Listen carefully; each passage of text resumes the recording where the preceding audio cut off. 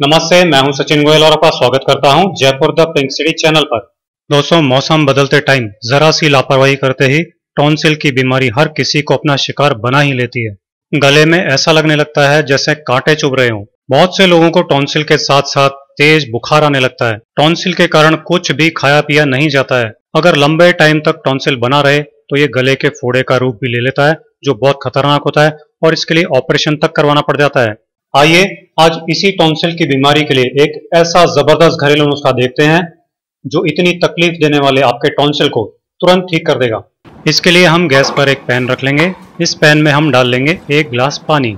इस एक गिलास पानी को हमें हल्का गर्म ही करना है। बहुत ज़्यादा गर्म नहीं करना है।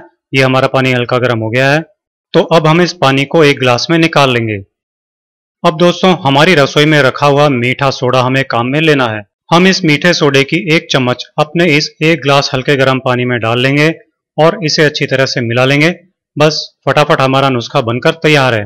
लेकिन आपको ये पानी पीना नहीं है, बल्कि आपको इस पानी को इसी तरह बनाकर दिन में दो बार गरारे करने हैं, यानी गार्गल करने हैं। इस नुस्खे को यूज़ करते ही टॉन्सिल और गले का दर्द एक ही दिन में पूरी तरह से ठीक हो जाता है। अगर टॉन्सिल बहुत ज़्यादा है तो इसे लगातार तीन दिन तक यूज़ करने से बहुत ज़्यादा सूजे हुए टॉन्सिल भी ठीक हो जाते हैं। दोस्तों, टॉन्सिल की बीमारी के दौरान कुछ खास सावधानियों का भी ध्यान रखें, जो मैं अब बता रहा हूँ। कूलर और एसी की सीधी ठंडी हवा में नहीं सोएँ।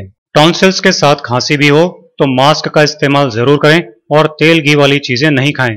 दिन भर थोड़ा थोड़ा करके हल्का गर्म पानी पीते रहना चाहिए। बस नुस्खे के साथ साथ इन छोटी छोटी सावधानियों का ध्यान रखेंगे तो टॉन्सिल तुरंत ठीक हो जाएँगे। आप इसे फॉलो कीजिए और मेरे इसी तरह के बहुत आसान घरेलू नुस्खे देखते रहने के लिए Jaipur the pink city channel को सब्सक्राइब कीजिए।